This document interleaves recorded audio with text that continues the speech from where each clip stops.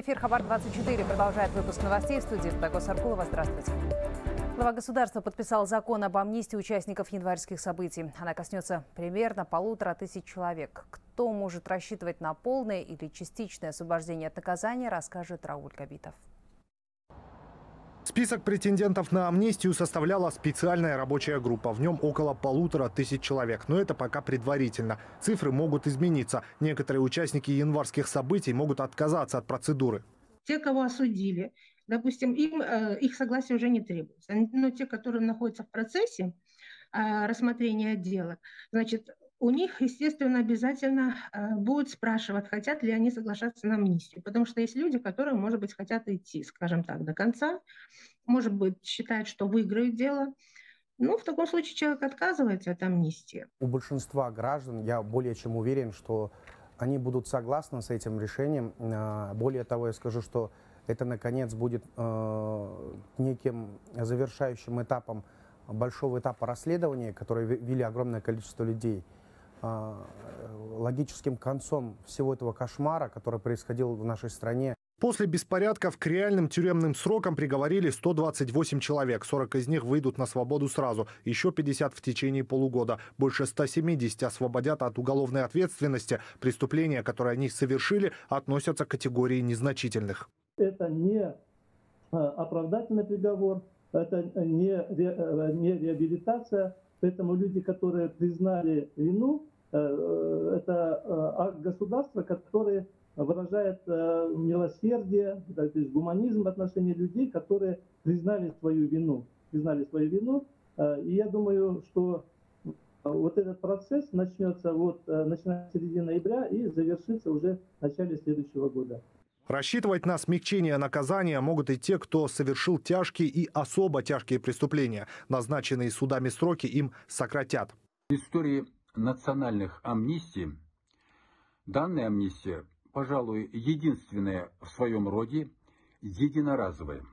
Это означает, что в случае повторения подобных событий государство больше не будет принимать таких законов. По официальным данным, в ходе январских беспорядков пострадали больше 4 тысяч человек. Почти 3,5 тысячи из них – это сотрудники силовых ведомств. Погибли 238 человек, в том числе 19 полицейских и военных. Рауль Габитов, Хабар 24. Агентство по делам госслужбы проверяет причастность чиновников к азартным играм. Проверка начата по поручению главы государства. В случае, если нарушения подтвердятся, будут приняты меры, сообщили в ведомстве. Напомню, прокуратура Алматинской области установила, что чиновники потратили в казино больше полумиллиарда тенге. В списке прокуроров 305 фамилий. Среди них, как утверждалось, были сотрудники МВД, Минобороны, Минфина, Акиматов, а также агентств по финмониторингу и противодействию коррупции.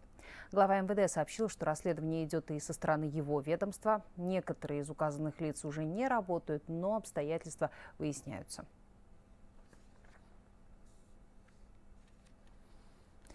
В Казахстане микрофинансовые организации, возможно, обяжут снизить ставку вознаграждения по онлайн-кредитам до 20%. Такую возможность рассматривают в финрегуляторе.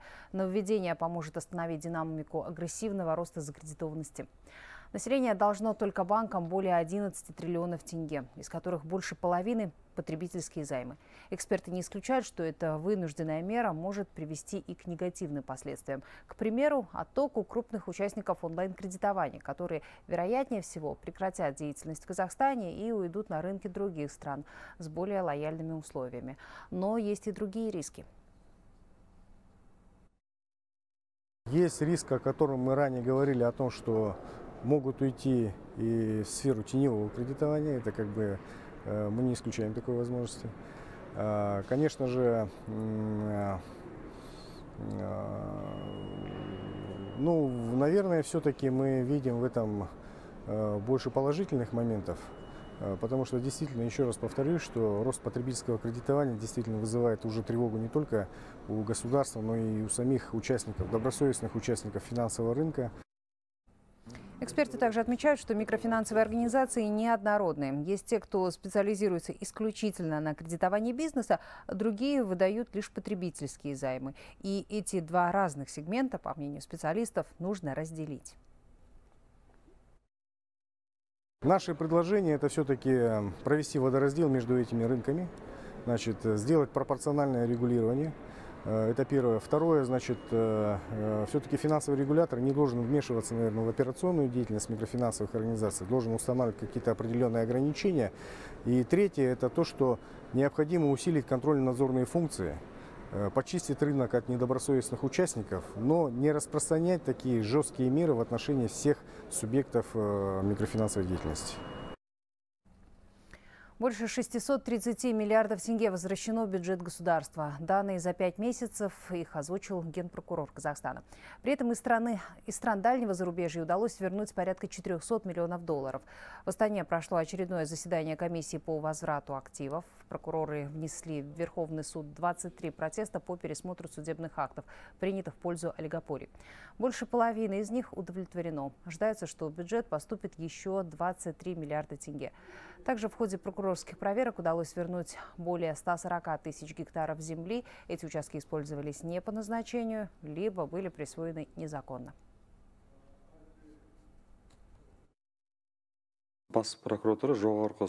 В таможенной сфере по результатам прокурорской проверки в бюджет поступило 57 миллиардов тенге. В суды предъявлены 13 исков о возврате государству имущества стоимостью в 13,5 миллиардов тенге. Комиссия продолжит работу по возврату активов Госбюджет также получит акции и драгоценности на полмиллиарда долларов. Антикоррупционная служба продолжает расследование в отношении Кайрата Сатыбалды и его подельников по фактам легализации денег и иного имущества, полученных преступным путем. Украденные ювелирные изделия оценили в 230 миллионов долларов. Еще больше денег Сатыбалды вложил в иностранные ценные бумаги.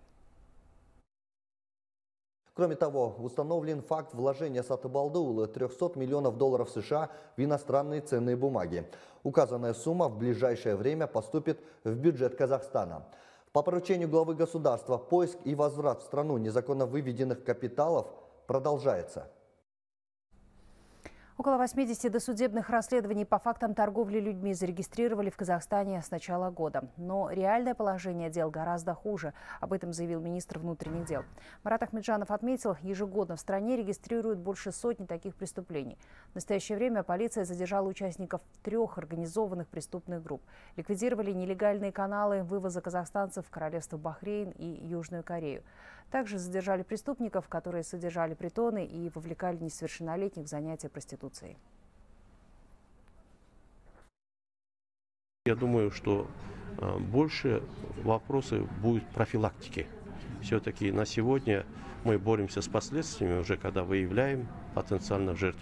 Поэтому сегодня, э, если вы видели преамбулу законопроекта, то уже определяет группу рисков, кто может попасть. То есть трудных положениях, уязвимые. Э, статистика и аналитика показывает, кто у нас жертвы э, этих правонарушений. И уже где-то мы выявили, что 90% э, пополняет жертвы именно вот эта категория. Почти 50 миллионов человек стали жертвами рабства по итогам прошлого года. Каждый восьмой – ребенок. Это данные Международной организации труда. Больше всего случаев было зарегистрировано в Азиатско-Тихоокеанском регионе. Подробнее расскажем в нашем международном обзоре.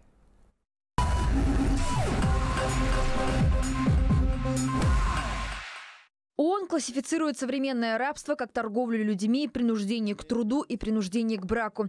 К последнему относятся около 22 миллионов случаев во всем мире. Для сравнения, пять лет назад фактов было на несколько миллионов меньше. Что касается насильственной эксплуатации людей, то негативная тенденция зарегистрирована практически во всех странах мира. Особенно уязвимы перед рабским трудом мигранты. Как правило, они сталкиваются с этим в три раза чаще. Согласно последним данным глобального индекса рабства по состоянию на 2018 год, больше половины случаев приходится на такие страны, как Индия, Китай, Пакистан, Бангладеш и Узбекистан. При этом среди государств с самой высокой долей населения в современном рабстве антилидерами выступают Северная Корея, Мавритания, Афганистан, Сирия, Катар, Ливия и другие страны. Активнее всего проблему решают государства Южной и Северной Америки, Европа, Индия и Австралия. Положение в области прав человека в Ливии по-прежнему вызывает обеспокоенность. Нарушения в отношении мигрантов и просителей убежища продолжаются безнаказанно. Произвольные задержания по-прежнему являются являются обычной практикой. Больше всего людей, занятых принудительным трудом, а именно 18 миллионов человек, приходится на Азиатско-Тихоокеанский регион. К слову, на днях Австралия и Таиланд подписали соглашение об усилении борьбы с торговлей людьми. В ООН отмечают, в целом для решения проблемы необходимо укреплять социальную защиту и расширять правовую поддержку трудящихся. Важно также повсеместно повысить установленный законом возраст вступления в брак до 18 лет.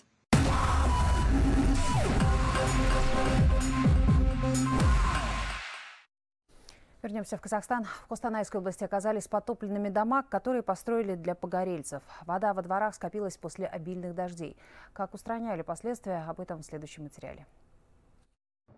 Ключи от новых коттеджей, пострадавшие от пожара жители Аули и Коля, получили совсем недавно. Но не успели отпраздновать новоселье, и вот новая беда. Несколько дней в селе лил дождь, и вода стала скапливаться во дворах. Вот с дома не выйдешь, получается. По фундамент полностью. Все вот это вот вода. А.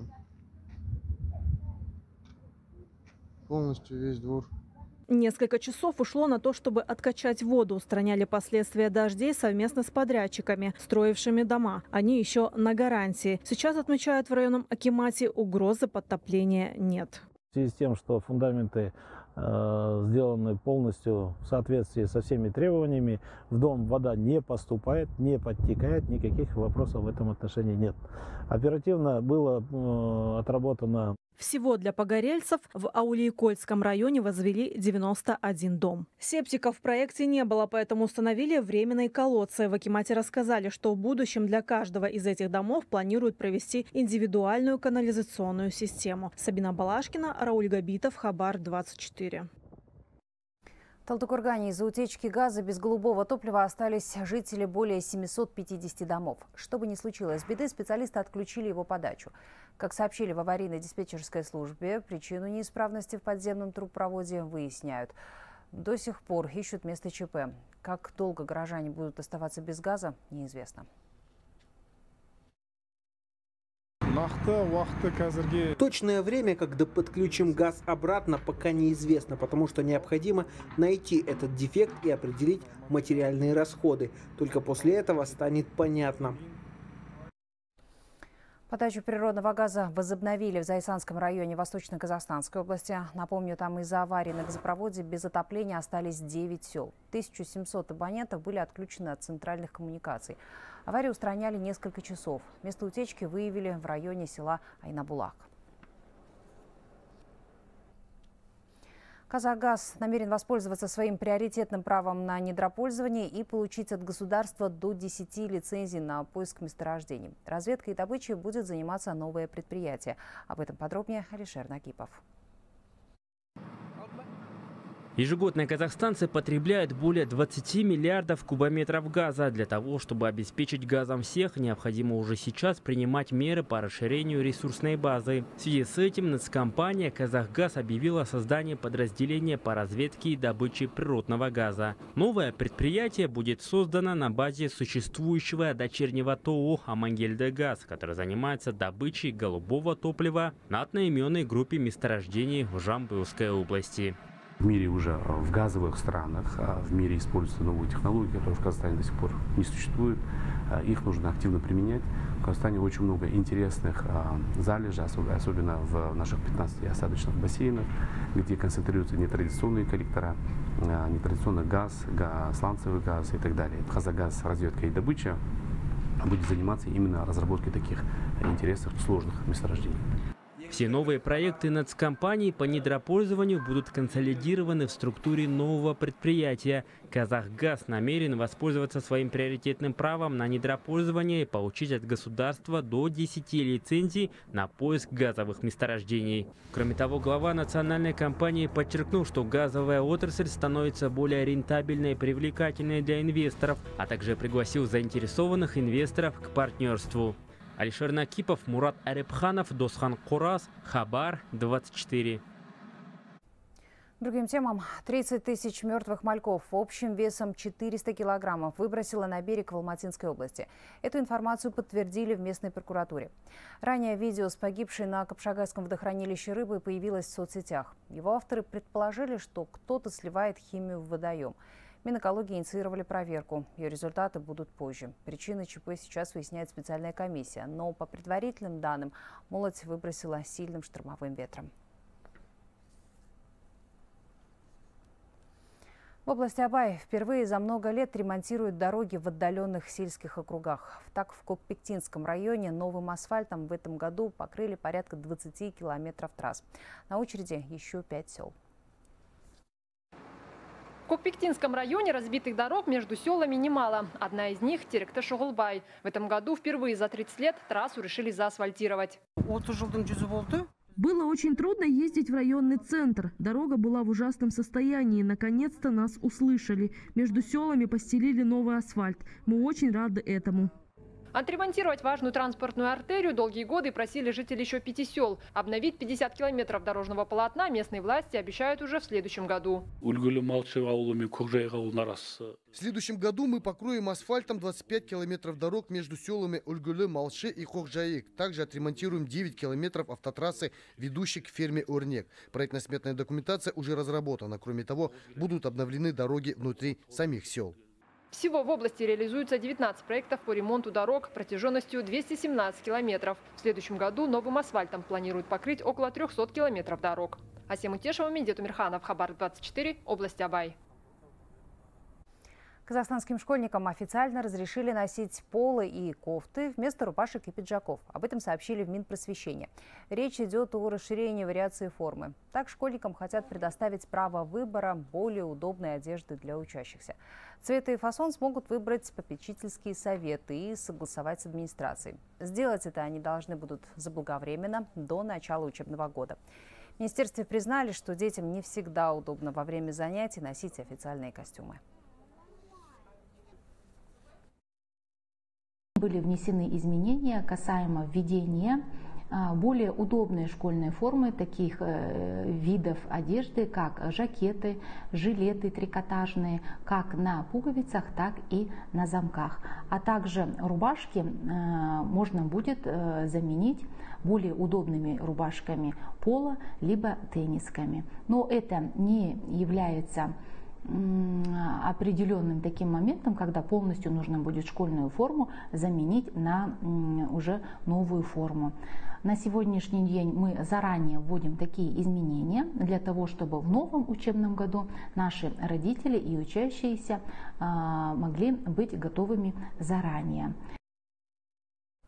Казахстанская киноколлекция в скором времени пополнится еще одним фильмом о непростой службе в спецназе Национальной гвардии. Съемки полнометражной художественной картины под рабочим названием «Беркут» проходят в живописных местах Или Алатауского национального парка и на берегу реки Или, а также в Алматы и Конаеве. На съемочной площадке побывали и наши корреспонденты. Сюжетная линия построена вокруг трех главных героев, бойцов спецназа. Они проходят через жесточайшие испытания, чтобы получить право носить краповый берет. Роли исполняют известные молодые актеры Санжар Мади, Даурин Сергазин и Аслхан Тулепов. Вместе со спецназовцами они тоже выполняют комплекс силовых упражнений и проходят тактическую подготовку. В этом фильме я играю одного из, э, скажем так, есть такая щитовая тройка э, спецназа. Вот я командир этой тройки. Вы знаете, поработав с ребятами, с военными, ты понимаешь, что здесь, конечно, немножко совсем э, другой менталитет, э, другой подход к обстоятельствам. И мне приходилось из себя, вы, скажем так, вытаскивать то, что необходимо было показать. Здесь ты прям должен показать волевой характер, ты должен показать э, полное владение ситуацией и ни в коем случае не струсить, ни в коем случае не показать слабину. То есть здесь приходилось, конечно, работать над собой. За основу фильма «Беркут» взяты реальные события. Это оперативно-розыскные мероприятия. Картина насыщена экшн-сценами. В ней много перестрелок и аварий. Даже была сцена с переворотом машины. Также мы еще несколько машин будем переворачивать. У нас э, очень сильная команда. Оператором-постановщиком выступил Азамат Дулатов, очень известный казахстанский кинооператор. А, продюсером выступил а, Камал Жихсылыков, это